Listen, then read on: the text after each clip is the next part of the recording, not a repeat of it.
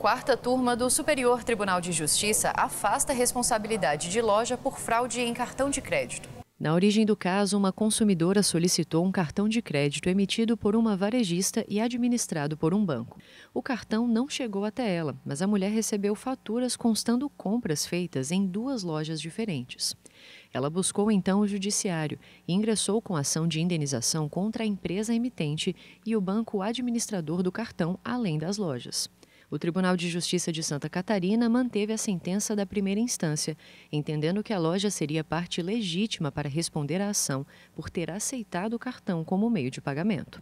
As dívidas em nome da consumidora foram declaradas inexistentes e as empresas foram condenadas solidariamente ao pagamento de danos morais de 20 mil reais.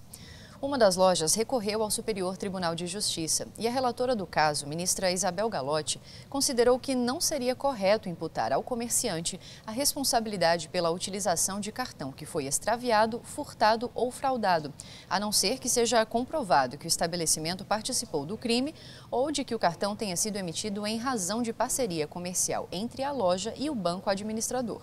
A relatora apontou que não ficou comprovada nenhuma participação da empresa recorrente em eventual fraude e destacou que não é razoável exigir do lojista, caso seja utilizada a senha correta, que ele faça conferência extraordinária para verificar se aquele cartão foi emitido regularmente e não foi objeto de fraude ou furto. Até porque, enquanto não for registrada nenhuma ocorrência, é impossível atestar irregularidades. A quarta turma seguiu o entendimento da relatora e determinou a exclusão da empresa do polo passivo da ação de indenização.